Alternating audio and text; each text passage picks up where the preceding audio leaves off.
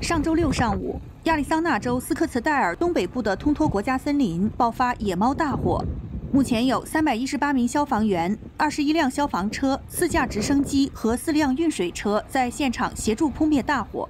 截至周二上午，火势燃烧面积为一万四千两百八十三英亩，百分之二十三受到控制。天气方面，经过当地的冷风有助于控制火势，不过。未来几天持续炎热干燥的气候，加上可能出现时速二十英里的阵风，都有可能会导致火势加剧。虽然起火确切原因仍在调查中，当局已把它列为人为因素。目前，巴特利特湖路仍处于关闭状态，而通托国家森林被关闭的部分，预计最快要六月十九日才会解封。据官方报告，野火最初是在凯夫西湖林区巴特利特湖以西附近被发现。火势在二十四小时内从五百英亩迅速扩大到约五千英亩。